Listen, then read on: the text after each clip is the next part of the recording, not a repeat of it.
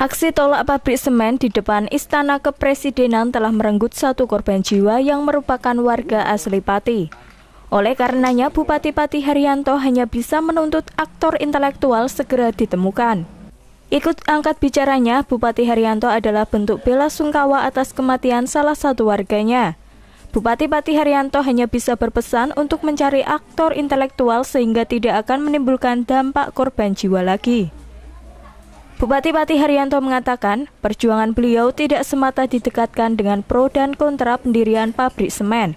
Lebih baik aktor intelektual segera dicari supaya pro kontra pabrik semen dapat diredam.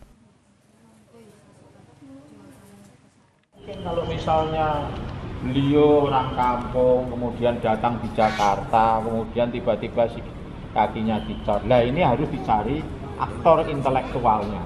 Aktor intelektualnya siapa?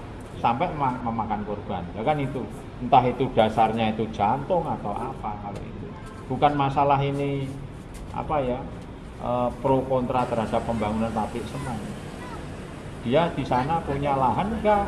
Kira-kira kena anu kena e, pendirian pabrik semen itu. Jadi kan kasihan nanti kalau semacam itu kan e, akan memanfaatkan orang-orang yang nggak tahu. Ya Tim Liputan Simpang 5 TV melaporkan.